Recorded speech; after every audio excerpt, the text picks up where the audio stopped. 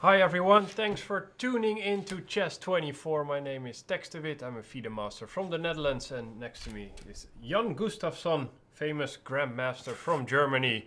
World One- famous. World famous, one of the key players, the key player behind Chess24. Is that too much honor? No, No, I think that's fair to say. It's fair to say. And we're here to uh, discuss the games from round three in the Sinquefield Cup, the tournament that nobody probably missed. All chess players around the world love love it when just eight or ten of the strongest chess players come together, right? I like it, yeah. We have eight or. How many players are there? Ten players. Ten players, eight from the top gonna, ten. I was gonna make a joke. We have here nine of the world's top players and Anish Giri, but it feels wrong. Like we can't do it. And who would you pick out of the ten? Because they're yeah. all world class players. So we'll be looking at the games and we'll look ahead to the pairings of uh, tonight. I say tonight because in Europe it's tonight. In the United States it's in this afternoon.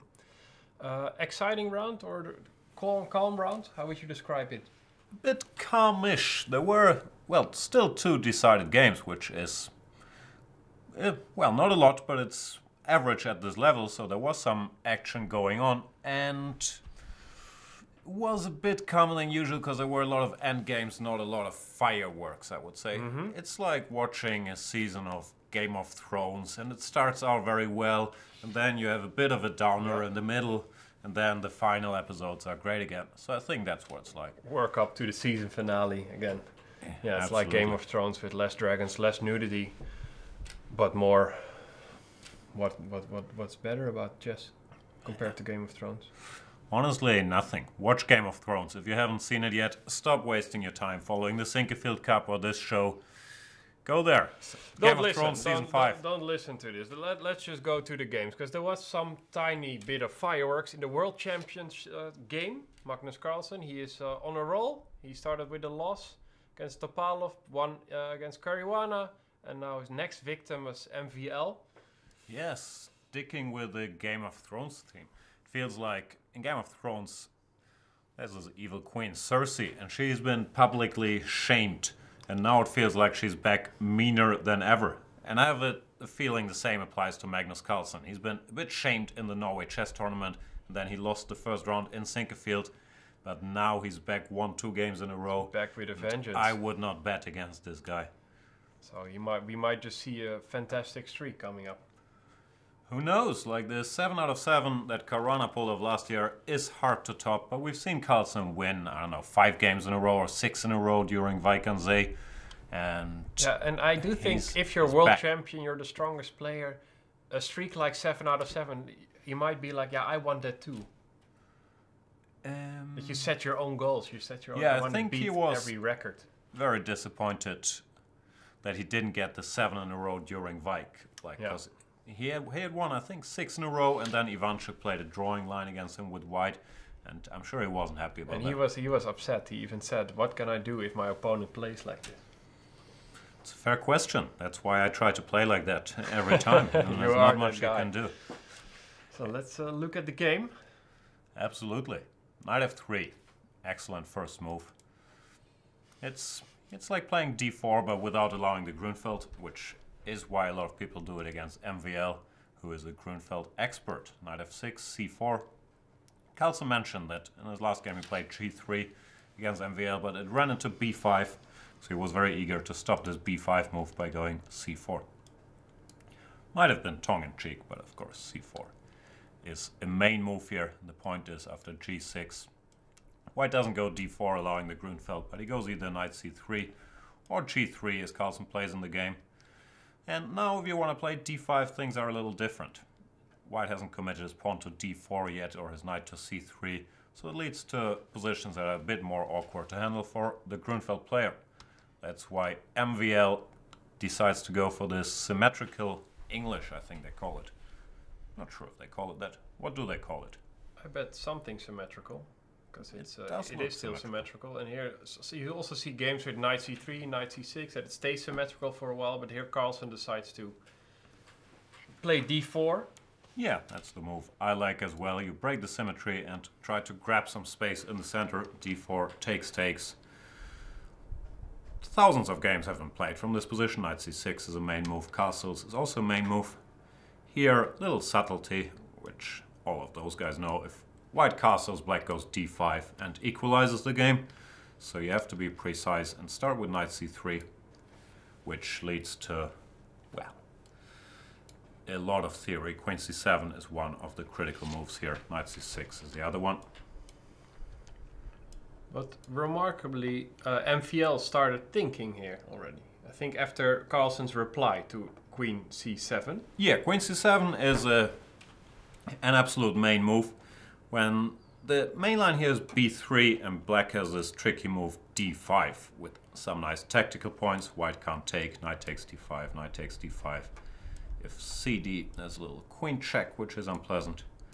And if bishop d5, there's e6, the bishop goes somewhere, and rook d8. And this pin is gonna cost a piece. So guys know that, and after b3, d5, there's a lot of theory, whatever, knight db5 or castles. For those of you interested, check out Peter Svidler's video series where he covers this with as a black repertoire. Also check out the games of Vladimir Kramnik, and so on and so forth. Anyway, Carlsen, who likes to go his own way, goes for the move knight to d5 in this position. Bit of a sideline. Yeah, I just want to say you already told people to watch an entire season of Game of Thrones. They also have to get the DVD series and watch Kramnik's games. It's a lot of homework you're giving in just five minutes now.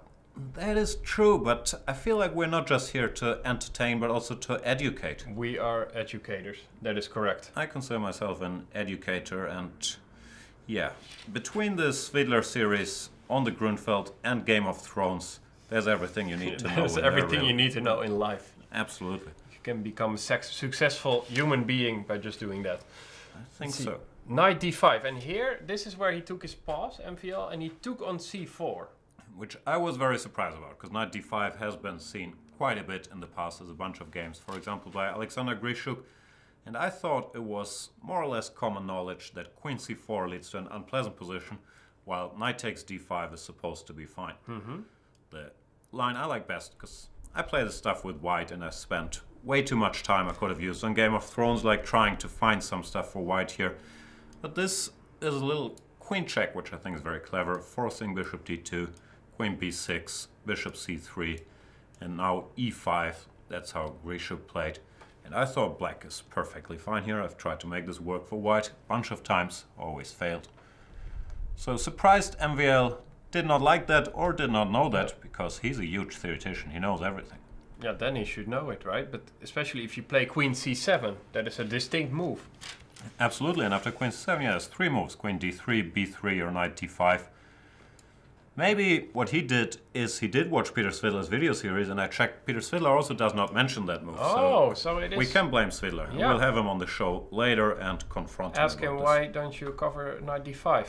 What do you do all the time? It could also be that he just took there and he was just trying to remember the moves because that's also what grandmasters do, right? They they just oh, grandmasters, every chess player, they, they just try to memorize the lines. See, if I take this pawn, do I remember what comes next? Right. Yeah, the thing is, if you go knight d5, you can more or less play without knowing a lot of theory. Well, after queen c4, it's very committal. You end up with a isolated d pawn. You give up the two bishops. Yeah. And you really have to know what you're doing. So especially if you didn't know the exact details, I'm surprised you took here. But also, we are masters in being armchair generals, and in hindsight, had he drawn this Yeah. game, we would probably praise him like, genius "Oh, to yeah." take on c4. He simplified immediately and took Carlsen out of his territory, blah blah. That's why we're usually better at the the show afterwards instead of the predicting phase. Like we always at the end of this hour will predict uh, today's round, but we're not so good at that. I think we're Speak better. for yourself. Uh, I'm terrible at it, not just not so good. I learned from the worst. So let's see. He took on c8. Yeah, little trick here. Rook takes c8. You should not take on b7, as juicy as this might look, because there's a little check. Yeah. Not pleasant. Still, castles. I think there's alternatives here, but I don't want to share all my secrets. So castles is a proper move. Knight c6, bishop e3. And this is not a position you want against Magnus Carlsen. You have structural weaknesses, and you're gonna suffer. I hear that a lot. This is a position you don't want to have against Magnus Carlsen. Most Is- positions you don't want to have against Magnus Carlsen. You just want to not play Magnus Carlsen. Is that the that's, that's the now? goal. Is there is there something uh, we talked about this, but can you recommend a position you would want to try to have against Magnus Carlsen? Should it be uh, should you have an attacking position? Should you attack him? um, yeah, checkmate him. Checkmate. That's the position you want to have. So if you ever play Carlsen, just checkmate him. He, he's really bad at Yeah, I think checkmated. defending checkmate, Yeah. he really struggles. And but seriously speaking, well, the thing he does best is grind away in like slightly better positions where it's not well, he can calculate with anybody, but where it's not about crazy tactics, move by move stuff, knowledge, Yeah. but just the feel for the game. And here he is like efficient water. So knight c2, he's willing to give up the bishop pair to stabilize, takes, takes, queen e6. Black is only slightly worse, but it is significant and it doesn't go away. The white bishop is stronger, white controls the d5 square, while black can't really control the d4 square because of e3. So it's an unpleasant situation to be in. Knight d5 takes... I was wondering here, can you also do without giving up the b2 pawn?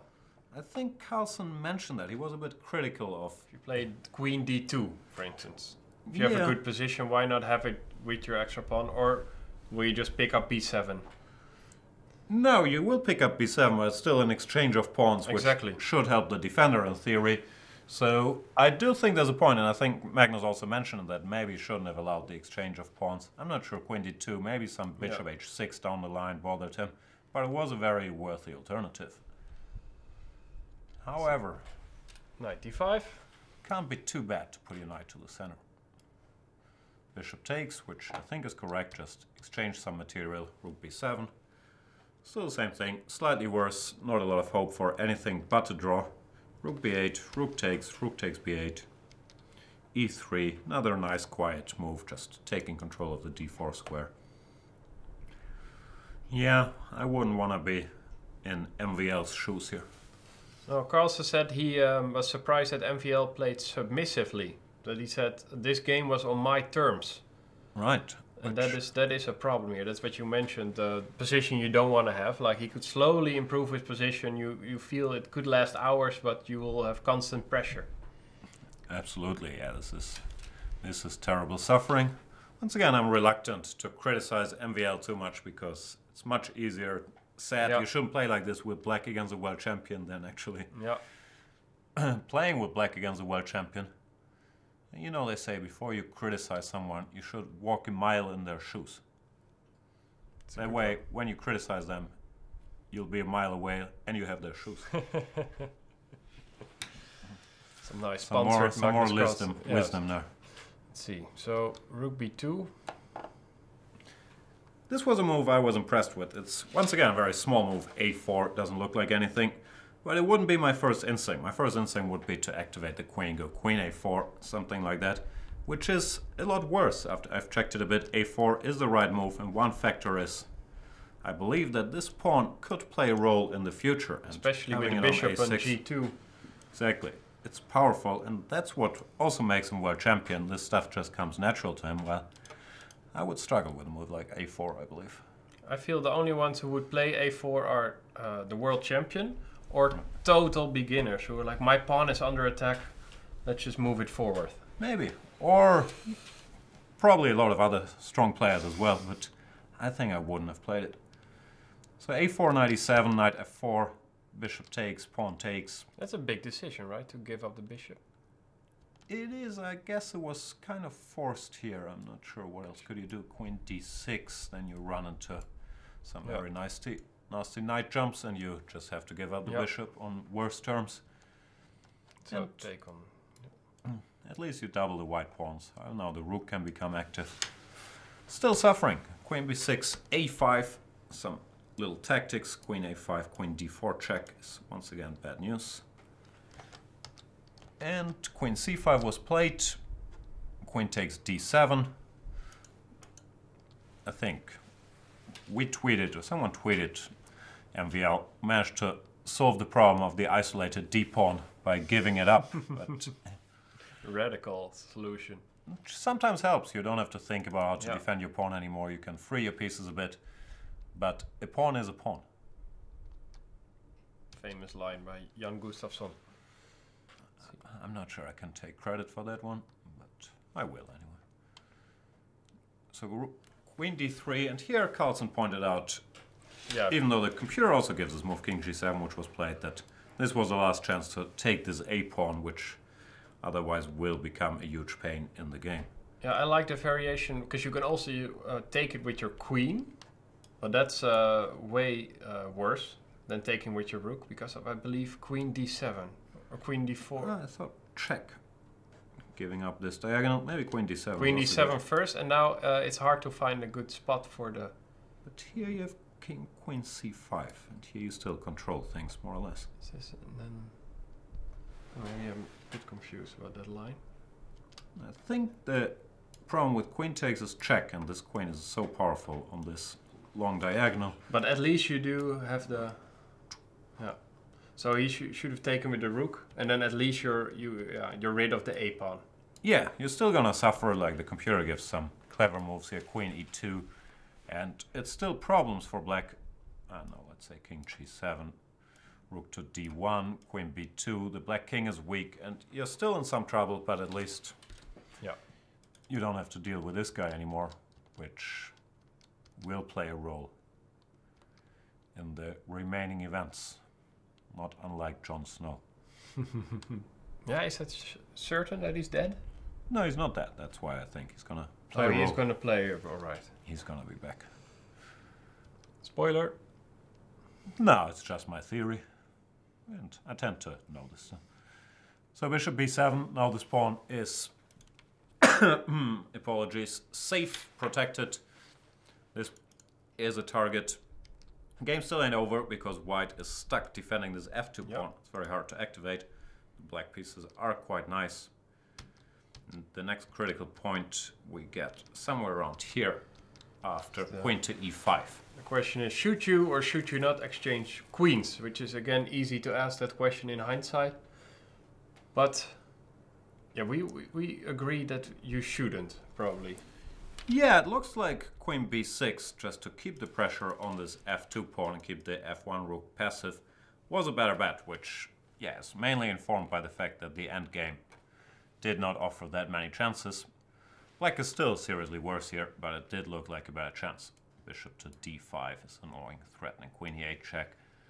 And once again, the game remains very much on Magnus Carlsen's terms. But Yeah. after what was played, queen e e5, fe5, the rest was a matter of well championesque technique. Should have won. This pawn is dropping. MVL tried to create some counterplay by stopping king g2, locking up this bishop. But it wasn't enough. No. d7, rook here. Here the computers were saying a7, which also wins. Some people were critical of Carlsen's move g4. That's just a very good practical decision. He calculated one line, g4, knight h4, rook d3. Point being you can't take because of check. And that pretty much ends the game. He's going to pick up this pawn. And then then it's two pawns. two pawns or two pawns, then he's going to free his king. This monster remains on the board. So that's... Yeah, it's, it's great that he, he just, as you said, he played a4 and that that pawn was decisive. He just felt like that is the one that's going to bring me victory. Maybe he's psychic, that Carlsen guy. He can see into the future. Oh yeah, that would be a nice ability with chess. Yeah. Or maybe not. Maybe ju- you just know that like, you're going to lose. you're gonna lose, or yeah, I'm not gonna win today, and you're cranky all day. Or wisdom from Game of Thrones. Everyone wants to know their future until they do. Wow, let's let that sink in for a few minutes. Few minutes, few seconds. Let's not let it sink in too long. Think. Great game. Do we have other decisive results? Um, I believe so. We do, right? You believe so. I believe in so. Uh, you believe so one. It's so hard to avoid Wesley So puns, right? Like normally one doesn't do puns with the last name of a player, but Like I never do So puns what? with Grischuk. Grischuk. No, No. Grischuk. He looked a bit Or Nakamura. today.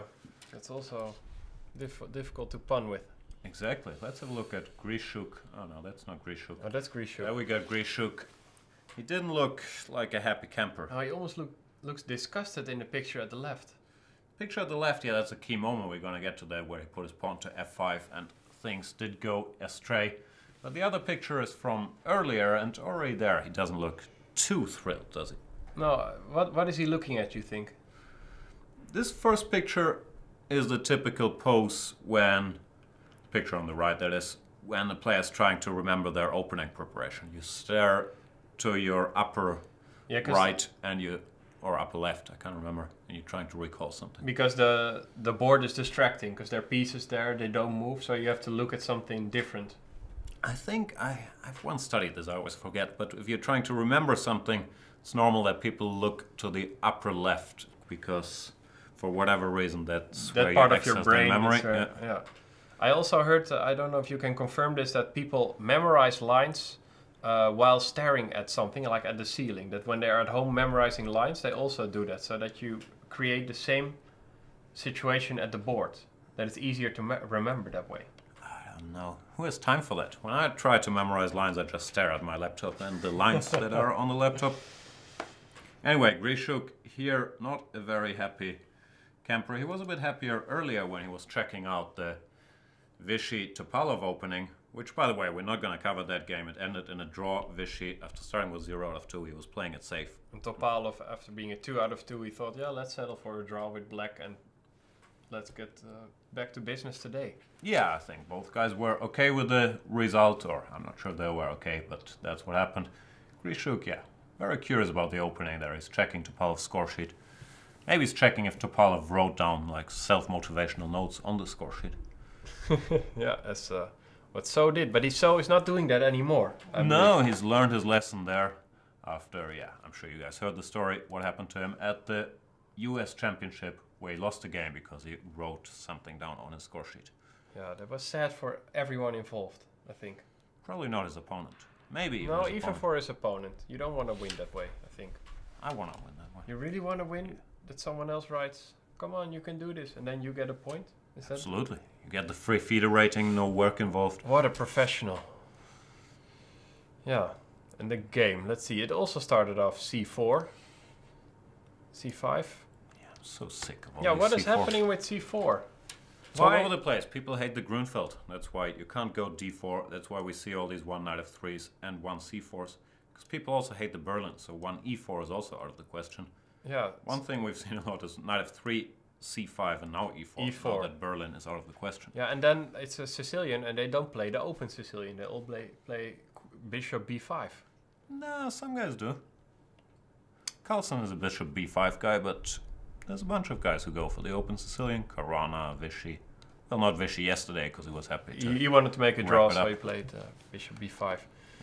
Yeah. Anyway, c4 in Grischuk's game.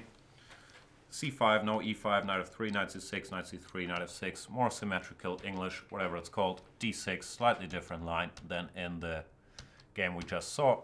d6, the point is that you can go bishop d7 early. Well, if you started with, let's say bishop g7, d4 takes, takes. Castles, castles here you're not on time anymore to go d6 and bishop d7. So it's another very playable setup that Grischuk chose.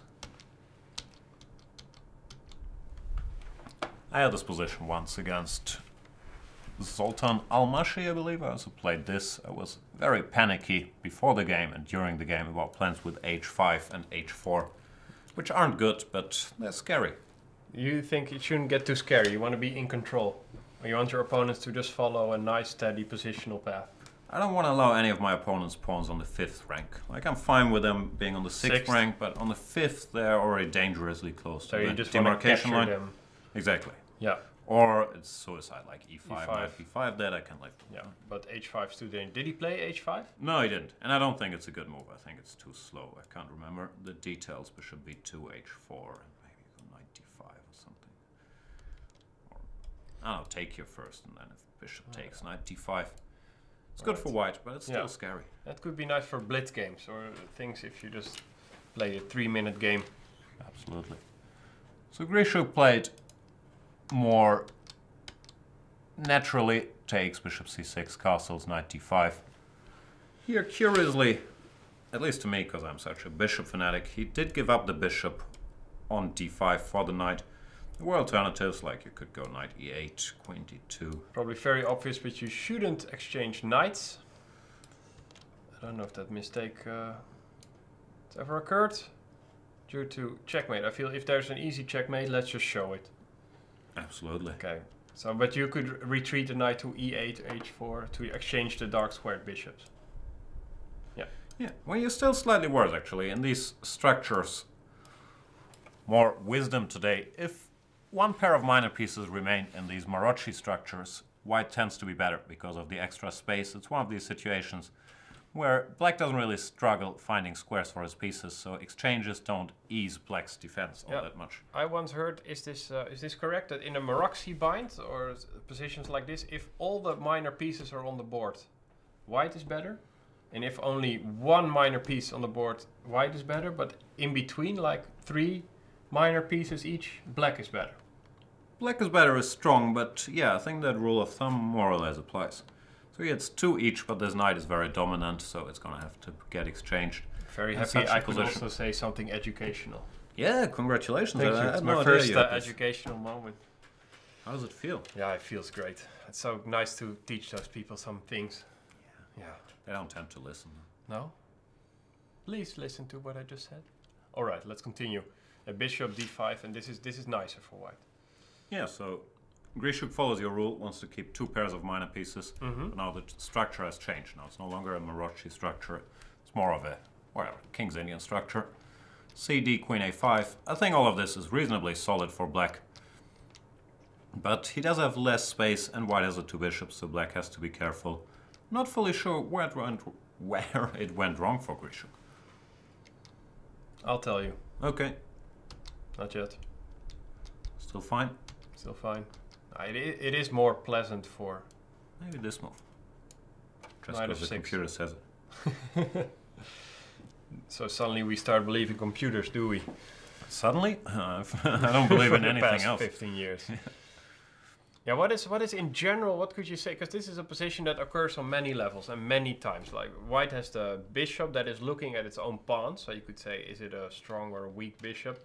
Black has a knight that has some nice squares, like on e5, where it can be kicked by f4, but on f6 or c5 is usually square to go to. What are, in general, you feel like the plans that both sides should follow? What is white going for? What is black going for? I don't have the slightest clue. I understand these positions all that well. It always depends on nuances. Like here, white is an active queen with, yeah, even the black queen was on b6. Then it's not so easy to get this in.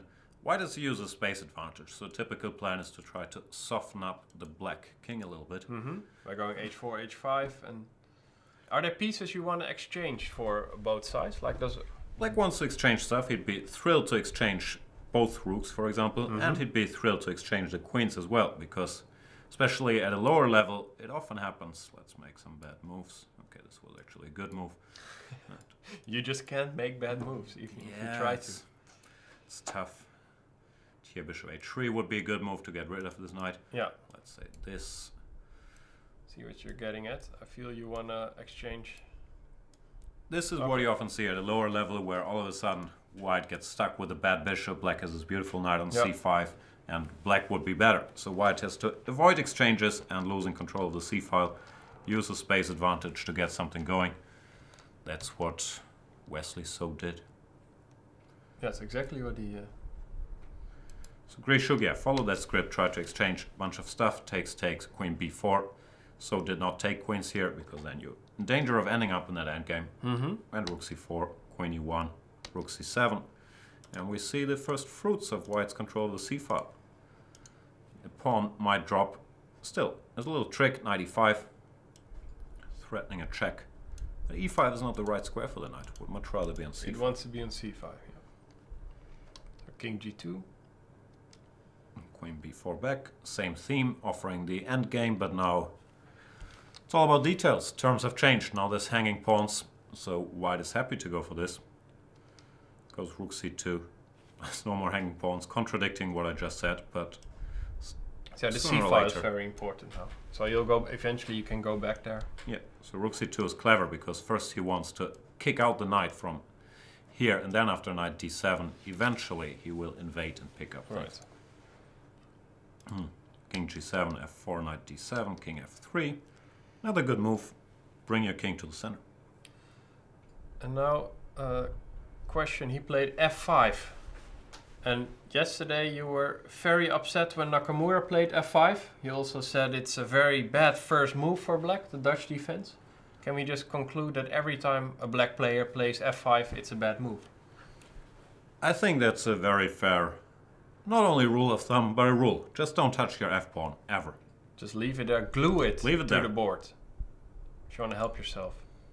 Yeah, in this situation, I'm not sure it was a decisive mistake or anything, but it did not help because after that, Grischuk just lost a pawn and never saw it back. He should probably have tried knight c5 here, going back to the good square. The reason this is not a good scenario for black like the one I mentioned earlier is the white king is very active and it comes and this pawn is loose. Yeah, so you're going, yeah, to c4, pick up b4. Yeah, still this was a bad chance. Now, well, you're not allowed to move this pawn, but if you were, now would be a bad time to go f5, than a move earlier. Yeah, So Grischuk, yeah, probably wasn't, well, probably wasn't time trouble because he tends to be. After f5 takes takes, rook c7, knight c5. Yeah, and he's back. Uh, the rook is back in time to go to. Uh, so we just have the same scenario without the e7 pawn. Yeah, that was a nice, nice maneuver. Yeah, and black, well, he did gain some positional pluses, but not quite enough. He can't attack the d5 pawn, the b4 pawn is still weak. So it's very close to hopeless here already. And so relentlessly, well, just improves his position, brings Yeah. his king over. I feel he has a bit of that gift that he can win games where it looks like he hasn't done anything special. Is that what Wesley So does? Not always, but it, sometimes it feels like, oh, where did his opponent go wrong, or what was his star move? And Yeah, nothing really, but he just beat Grischuk. There's no no particular blunder. Also, no real edge from the opening, but he just slowly. Yeah. He doesn't make mistakes. No, he's an interesting player. And then Wesley maybe we can look at the final position, or maybe just click through the moves, because uh, Grischuk resigned, and I was wondering, is that too too early to resign? Yeah, it's this typical thing. I believe he resigned here, where players make the time control. No one ever resigns before the time control No, there's time trouble and there's never know what's emotion and you don't know what's going on. We saw it Caruana Carlsen. But now you sort of yeah calm down, have a quiet look at the position, and you see it's hopeless, or well, he considers it hopeless. So he's just probably disgusted with what happened earlier and calls it a day. I'm I'm not sure. I agree you could make some more moves, but I would, think would you resign? Would you resign in this position? Um, Probably depending who I you're don't playing. know. Yeah, it always depends on the opponent, and If you have plans Things. afterwards, if you have Yeah. uh, a date to catch your meeting. if you have to go to a baseball game in St. Louis, you never know what You know. these guys are up to. No, but I feel. I, do you think all ten players wo- in this uh, tournament would resign this position? No, I think the moment where you resign is, can be sort of arbitrary, but move 41 tends to be a very popular spot to Very do. popular resigning move. Also, uh, a move where m- many people make a mistake, right? Did you that. did you made the time control? You have another hour. You think for 25 minutes, and they make the decisive mistake. I'm not sure if there's any evidence on that. I've. I've heard that story many times. I think if one looked it up, I would still believe the blunder frequency is much higher on move 40 than move Then 41. That would be nice if anyone has still write his thesis on something about chess. That's a nice topic. Absolutely. There's a lot of data. Yeah. Check so the, so yeah, you could make some more moves here, but you would lose. Promise King b6 is coming, attacking this pawn. The knight goes here. Sooner or later, King c7 will wrap things up, or Bishop b5 followed by b4. yeah. There was one nice line, right? If you go King C7 right away, Black plays Rook check, and you shouldn't take that pawn because of check Knight check on E4. But It's almost checkmate. Imagine the rook was here. yeah, just imagine. Like this, yeah. Okay, white is screwed up, he can probably continue, but But I mean, just like if there if there are things like this in a position, I know he has a lot of time, but feel there are still some chances. But that's no, you okay. could have checked out, yeah, at least this trick and continue. But I do think you would have lost a hundred out of a hundred, and if you, if that's the case, then you can resign. Yeah, that is uh, that's definitely true. Someone is already asking us what our predictions are for today's round.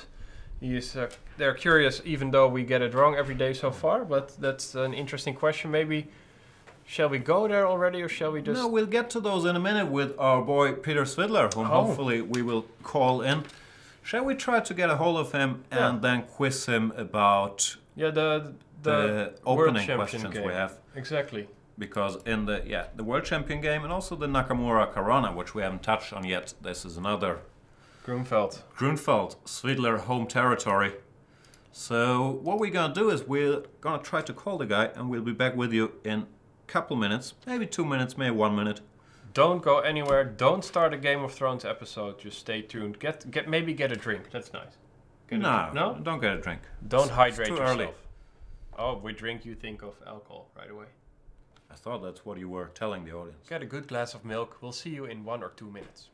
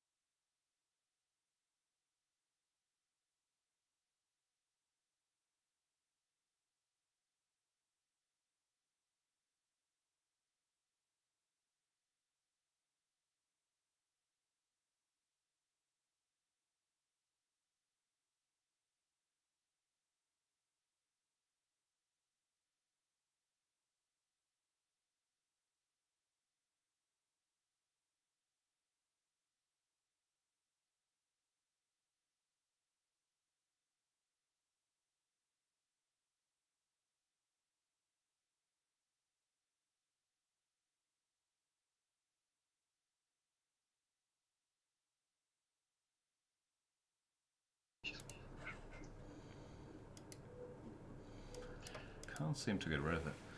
Welcome back, everyone, with none other than Super Grandmaster and bearded man hipster Peter Svidler, who is with us to rant about Fabiano Caruana not watching his Grunfeld series. Peter, how or you doing? possibly uh, it's not you know it's not immediately obvious if, if that's true i mean maybe he did watch it and and found a refutation somewhere i'm not entirely sure That's not great advertisement for your series, Peter. which is why i was so upset when he played bishop takes b5 i mean i thought why would you do that Let's I mean, go there. So something i mean educate us the opening for Queen B3, bit of an offbeat move. Why can't I get rid of this blinking Peter Svidler mini picture? It's very upsetting to everyone involved.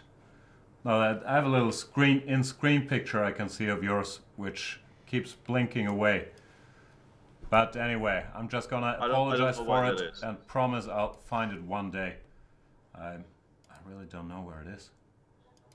So now we're just joined by two super grandmasters, Peter's Svidler and Peter's Svidler, mini version. Yes, Some like mini me version of Peter. the angel and the devil on your shoulder, except the, the angel is not there, it's just one of them. So, Queen B3. Well, This I is mean, supposed. Go ahead. The, the idea, uh, as far as I could understand it, of, of doing it this way was uh, if black goes uh, according to normal lines, if you take on c4, queen c4, bishop g7, e4 castles, white can play bishop e2 here. And uh, by doing that, he dodges some of the options black has available to him if the knight is already on f3. So uh, this was supposed to be the reason why people uh, started with queen b3 and move 4 instead of move 5.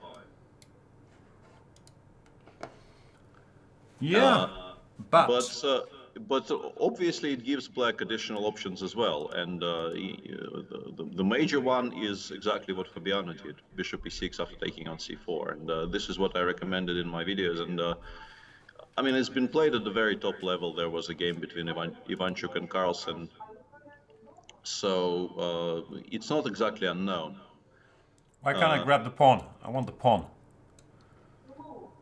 Well, I mean, if you go queen, Queen b7, b5 knight c6, knight c6 is very very strong. So. Queen B7, you just take You on go- D4 and you win. uh, excuse Yeah, I'm sorry, I was looking at Queen B5 check, Knight C6, Queen B7, but then no, no, Knight no, D4 I- just no, wins. queen, no, no, queen b5 check. You play, uh, you play bishop d7 anyway. Oh, okay. No, you play bishop d7, and and if you take on b7 here, I play knight c6, Gotcha. and uh, rook b8, knight b4 follows very very fast. So you you will probably end up in a lot of trouble doing that. Don't want that. So he went Queen A4 check, Bishop to. Bish- Bishop d7, queen b3. Queen yeah, B3. regardless of where you, you give the initial check, this is the supposed main line, and black should reply c5, which is what Fabiano did.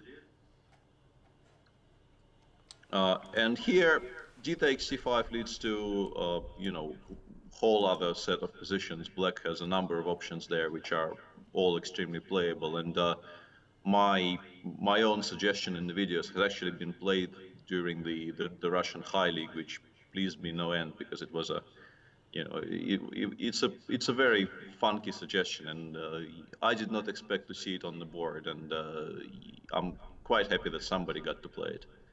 After What is your suggestion? And what, what's the suggestion? Now we're curious. after, after d takes c5, uh, knight a6, I think the, the stem game went bishop g7. Yeah, I think it was bishop g7, uh, and uh, then uh, play gets, you know, it, it looks normal. But after knight a6, the best move white has is queen a3, to which my proposed reply was rook c8, b4, and now knight b8, creating this threat of a7, a5.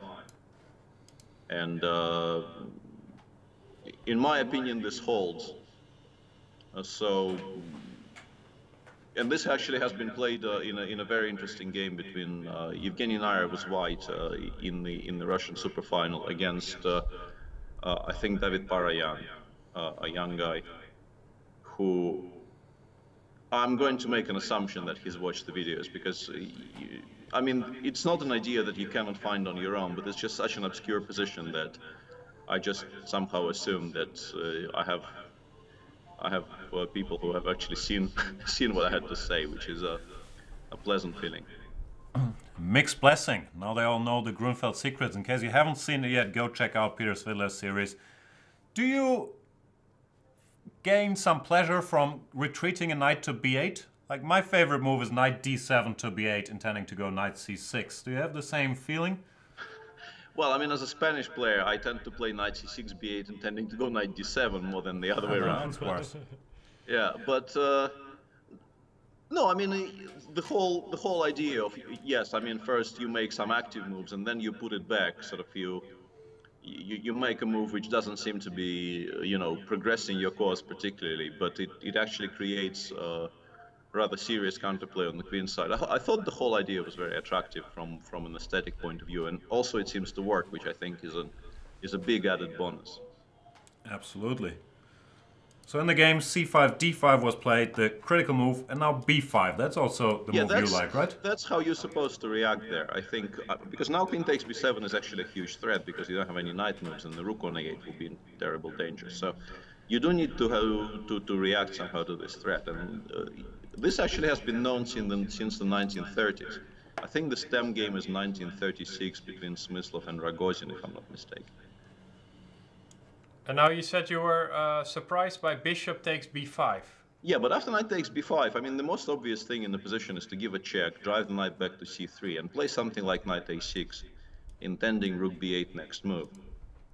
And uh, positions arising from that, uh, I, mean, I've, I've, looked at them in, in reasonable depth. I also, I, I think I also lost uh, with White starting from this position against Boris Gelfand in the match we played against each other in Jerusalem uh, in last year.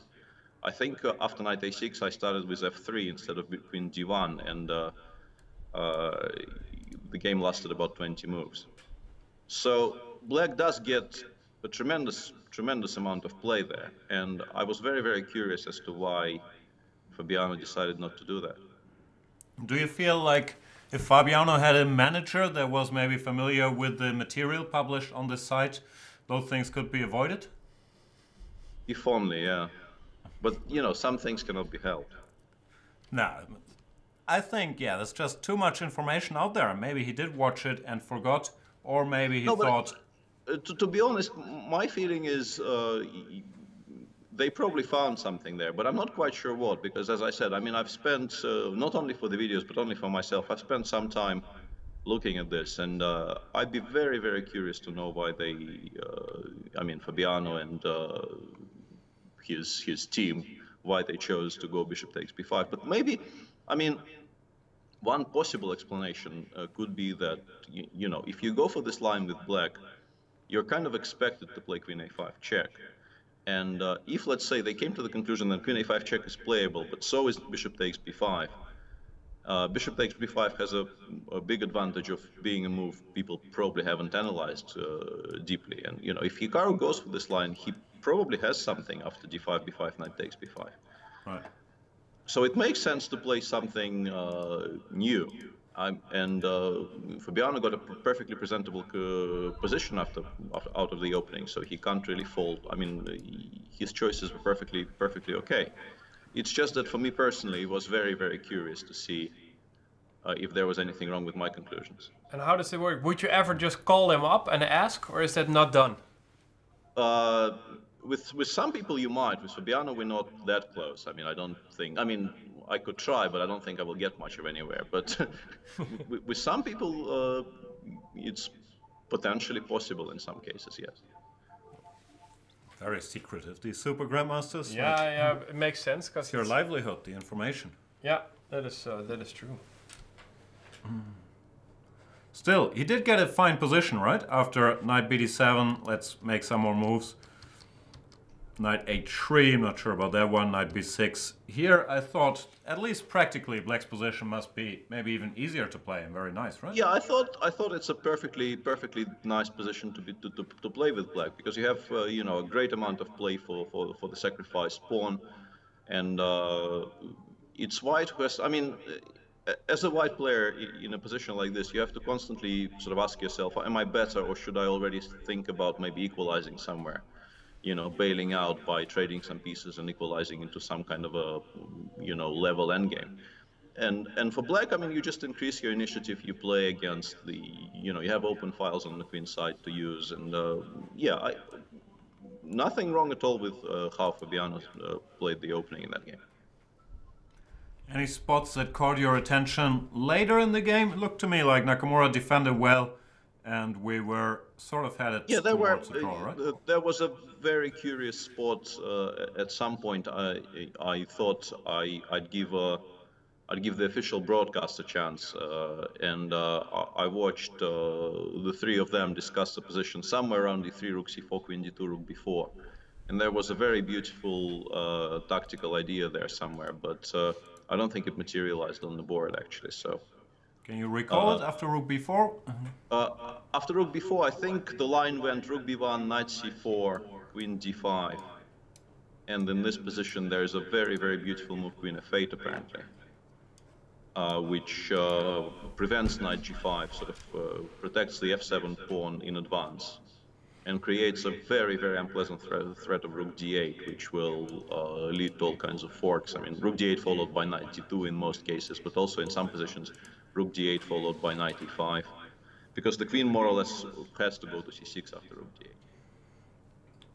But There was a very, very beautiful geometrical motif there, which uh, uh, Maurice and his machine pointed out. But Nakamura wisely avoided that when rook c1 more active. And he even got some chances later on, I believe. Yeah, My later on- machine. Ahead. Later on, uh, I was basically I I stayed up barely because I'm still sort of half on Moscow, half on Chita time, and uh, uh, somewhere around midnight, um, my body starts sending me confusing signals. As you know, part of me thinks it's midnight, part of me thinks it's 5 a.m. and I somewhere around that point I feel I probably should go to bed. So I, I stayed up to, to see how the time controls will work out, and then I, I finally went to bed. And uh, at that point, it was four against three on uh, on the king side, and I expected this game to last forever. And in in the morning, I checked, and basically it looked completely equal by move 48 or so. And uh, I couldn't really understand the decision to break up your structure the way uh, Hikaru did and create a weakness on g5, which Black could uh, So then if we play so from move 40, so when you went to bed, you thought uh, White had better chances, chances obviously I mean- because he is a pawn up. Well, it should be it should be a draw objectively, but uh, I thought you know you can sort of uh, you can expand gradually on the king side, try and keep keep black from exchanging too many pawns, and you know uh, always uh, you hint at play against the f7 pawn, so black can't get too active. Black can't really leave the seventh for very long. So you have a you have this setup, and you can try playing I don't know king g2, f4, king f3, e4, e5. Obviously, you know black will have something to say about that, but I expected that game to I expected that game to last for longer than it did. Although, I mean, I, I, I thought Fabiano would hold, but I- I did not think he would hold with such ease. I thought it was a dead draw. Okay. But you think g5 was too soon because the, the next move he played, move uh, 41, was g5, and you would have waited, advancing one of your pawns that far. I haven't actually even seen G4. I may have left before move 40 in that particular game. I mean, when, when I left, the pawn was still on G3, which is uh, where I thought it might want to stay for a bit.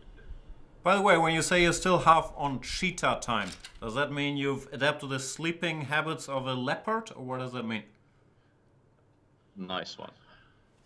I have I have no comeback to that. No, Chita is a place where the Russian championship was played, which has like six hours difference or something, right? Five, yeah.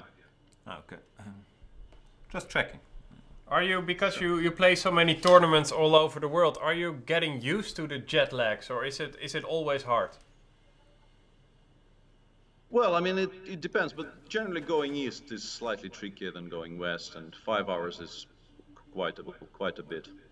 But isn't the problem coming back after going east? I feel like going there is fine, but then when you come back, it's hard to. I mean, but both are, generally speaking, I mean, two hours either either direction is fine, but once once once you get to those, you know, Chinese differences, you know, that is where trouble might start. So is it also when you play a tournament somewhere far away, do you always go a few days in advance just to get accustomed Well, to the? you do, but I don't think you know. It, it's arguable how productive that is because I think the worst days are not actually days two and three. For me, it's always somewhere around day four or five. So what you do by uh, doing that is you kind of uh, make it fall more or less exactly on round one or two, instead of round two or three when you may have played yourself into some kind of form otherwise. Yeah, I heard Olympic athletes when the, the Olympic Games or the World Cup was in Australia or something. That some go a month in advance, like runners that they just ta take an entire month. That's a luxury, of course. Yeah, I mean, if you can if you can do that, that works. Yeah, but uh, not many people can. That's definitely true. It's tricky if you have a tournament every two weeks and you're always trying to be a month in advance. You You, really have to every calculate your schedule. It's gonna be tough. Um, moving on, yeah, this game ended in a draw, not that much excitement over there. What's anything that surprised you about the first three rounds? Topalov, two and a half out of three. Caruana and Anand, half out of three. What stood out to you? Well, it's uh, it's hard to say. I mean, yes, Topalov had a fantastic start, but we know he can, and uh, I mean, I just enjoy watching them. I, I, I can't say something shocked me in particular. I mean, Vishy's start was a bit of a a bit of a bummer, and Fabiano's as well, obviously. But uh, mainly, I just feel it's you know it's a great spectacle for anyone who who likes the game, and I just you know I I watch the, these tournaments as a as a spectator with uh, great joy. So diplomatic. I'm always trying to um, get him to talk some trash. It's never happens. It's not really. It's not Savvy. really me being diplomatic. I, I honestly think that you know in a field like this, more or less anything can happen, and uh, also you you are more or less guaranteed to get get your uh, get your share of excitement. Uh, these are very very nice tournaments to watch. I'm I'm not being I'm not hedging or you know dodging the question. It's just uh, how I feel about them. And do you expect a lot of excitement for uh, today's round? We have Grischuk Topalov, Caruana Anand, Vachier-Lagrave Nakamura, Giri Carlsen, and So Aronian. Well, I mean, every round should be should be good. I mean, uh, once again, I really, really hope to to avoid the prediction game, but I mean, what's not to like? Not gonna happen. Let's get into the prediction game. Our boy Grischuk, who I know you're good friends with, with White against Topalov. That's in Norway chess. Grischuk played a sharp line against him, then lost a piece early on and lost that game. Yeah, that was that was a bit of a disaster. But before, I think he had a good score with White against Topalov. I have a feeling he can beat him, and Topalov, he's not the type to play for No, draws with Black either, right? Anybody. Exactly. I mean, uh, Sasha is definitely a player who, when he plays well, he he can win in any game he plays. So Even against Vishy Anand, after 15 years, Yeah. he beat him for the first time here. So we agree they both can beat anyone. Caruana with White against Anand. That's an interesting one. Both half out of three. Yeah, that that will be that will be interesting. I think for Fabi will try to press, but uh, I mean, against Vishy, a lot depends on how the the opening comes out. And how do you Because- press against Vishy? He knows everything about everything, right? Precisely, but you know, sometimes you get a position where you can still do something. I mean, uh, whether you do it by playing d4 knight f6 bishop f4, or whether you do it by playing some kind of normal Catalan and then just making moves. Sometimes this happens. Right, what else But we I mean, got? if, if Vishy gets a completely comfortable position out of the opening, I don't think much can trouble him, Trying regardless to of how many points he has. use my excellent screen design skills. Ah, here we got the pairings, and here we got Blinking Peter Svidler again. So we also have MVL against Nakamura. Another exciting game. It's all good games. Yeah. Well, it it, it Hikaru seems to be reasonably solid in this event, and uh, Maxime is uh, fluctuating somewhat wildly, or at least that's, you know, a, a pot- potentially. That's not quite true, though. I mean, it, just the fact that he had two decisive games, one he won and one he lost, that's not really fluctuating. He he lost to Magnus with black, it can happen. But well, yeah, that one is harder to call.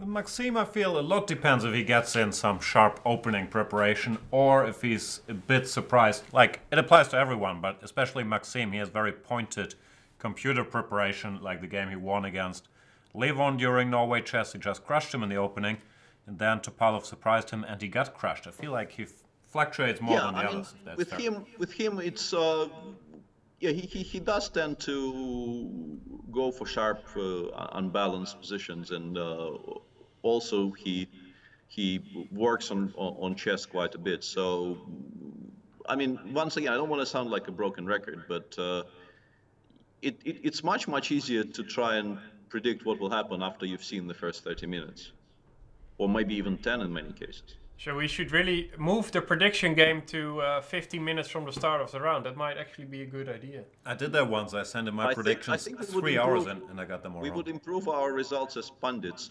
drastically if we could do that. Yeah. Yeah. And what about Giri Carlsen? Um, I'm gonna say this is gonna end in a draw. Oh. Giri famously never lost to Carlsen, and he's not Draw been is- overly shy about Draw, mentioning that. draw is not a loss.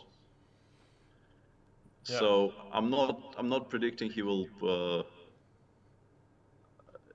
finally lose this uh, fantastic record against the world champion. But I think uh, now that Magnus, uh, you know, got uh, got his tournament back on track, I think. Uh, I mean, he'll be he'll be fine, but uh, I also don't think that you know Anish with white is in much danger.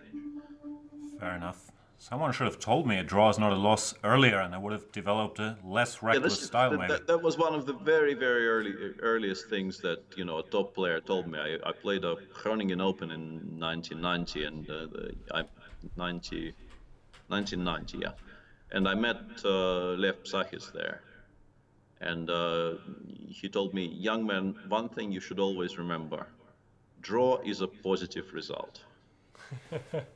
Timeless wisdom. Set me back years, but. Uh, But And you weren't playing him at that moment, memories. right? What? You weren't playing him at that moment, right? No, no, no, no, no. We were just playing in the same turn. Oh. Or in actually maybe at the same venue. He probably was playing the round robin. I can't really imagine him playing the Open in 1990.